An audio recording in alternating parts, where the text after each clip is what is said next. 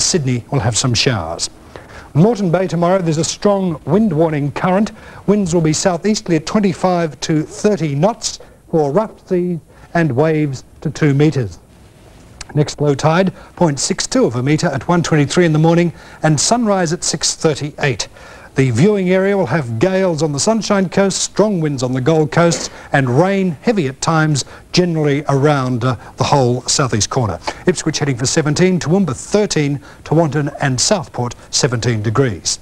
Brisbane's in for an overcast day with rain, heavy at times, temperature range 15 to 17 degrees. And our outlook is for some clearance, perhaps Saturday. It's enough to make you want to fly south, isn't it, Jackie? That's right, Paul, but I've had a bit of trouble with my broom lately. I can't get it off the ground. That's Channel O Eyewitness News for Tuesday, the 21st of June. And you can join me after the return State of Origin match tonight for Eyewitness World News. I'm Des McWilliam for Jackie and all of us in the Eyewitness News team. Good night. Good night. Have a good sleep tonight.